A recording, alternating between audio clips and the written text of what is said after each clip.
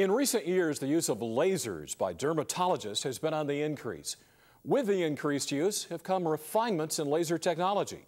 Dr. Timothy Jochen of Contour Dermatology in Palm Springs explains how different types of lasers are used to treat different skin problems. Dermatology has been using lasers for a very long period of time.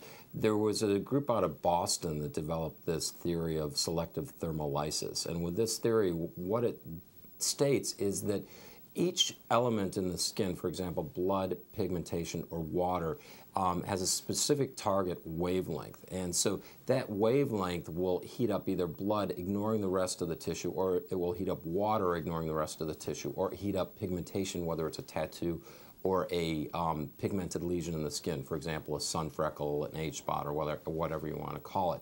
And that's when lasers really exploded in the field of dermatology because now if you have red blood vessels on the face, you can use a specific laser just to target that blood vessel and destroy it. Same thing with the brown spots, the age spots that you see on the hands. Now you can specifically target the pigment in those um, age spots and destroy them without damaging the surrounding tissue. And so what this allowed dermatologists to do was, was to treat specific areas without leading to scarring or destruction of the surrounding tissue. In my practice, I use several different lasers. It really depends on what people come to me and want to have treated.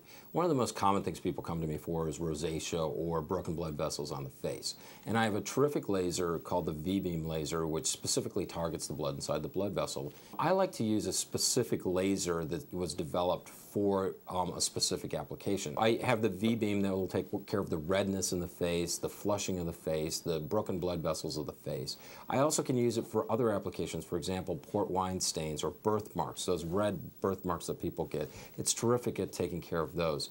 Um, it, it, will also help people with KS. If they have KS lesions on their body, I can treat those. Another laser that I use is the Alexandrite laser. It's a um, 755 wavelength laser. And what this laser does is it targets the pigmentation in the hair follicle and um, it heats up the hair follicle, thus destroying the hair follicle. I do quite a bit of tattoo removal in my practice, and there are several factors that will impact how well a tattoo is removed. First of all, what color is it? The darker the tattoo, the more likely are, we are to be able to get rid of it. For example, blacks go away much easier than a red or a green. Um, second thing is, um, is it a professional or an amateur tattoo? And believe it or not, the amateur tattoos are much easier to get rid of than the, than the professional tattoos. So that's also very beneficial. Um, and also the type of ink that they use in the tattoo depends on how well the um, tattoo will go away. For example, there are certain dyes that are used in red tattoos that will actually turn black when you try to treat them with a laser as opposed to disappearing. So those are the factors that, that um, determine whether a tattoo will go away or not. One of the things I frequently get asked uh, about is sun damaged skin. And sun damaged skin includes brown spots, wrinkles, and, and broken blood vessels.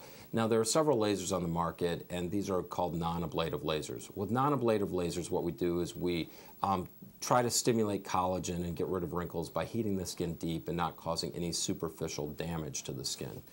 Now, for people that have severe, severely sun-damaged skin, these non-ablative lasers just aren't going to work, unfortunately. And we still have the gold standard CO2 laser.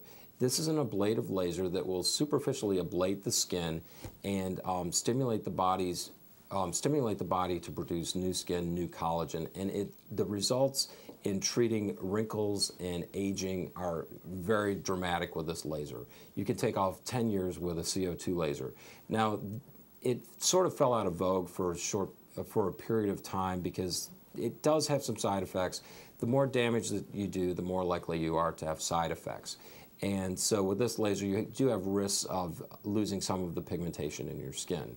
And so that's one of the risks that you have to take when you do a CO2. But the results with the CO2 are so dramatic and, and, and so impressive that, that I encourage many of my severely sun damaged people to use this laser.